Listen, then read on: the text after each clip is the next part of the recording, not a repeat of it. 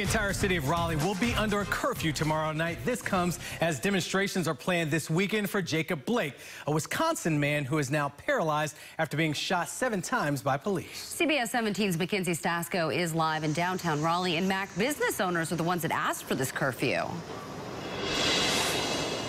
Angela, they sure did, and they are trying to prevent a repeat of what happened last time during the first few days of the George Floyd protests. As you know, those escalated quickly, which led to rioting, looting, and stores damaged, just like this one, which, as you can see, is still closed about three months later.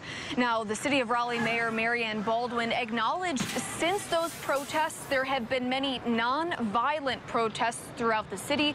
The mayor says both the city and police will be treating the Justice for Jacob Blake protests as peaceful as long as they stay that way. This is what the mayor had to say when I asked if police will have tear gas or rubber bullets.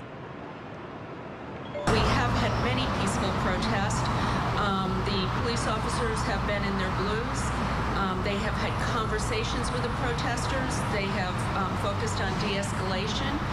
And, um, you know, that's they've been operating. Unless we see otherwise, I believe that's how we will conduct um, ourselves on Friday night.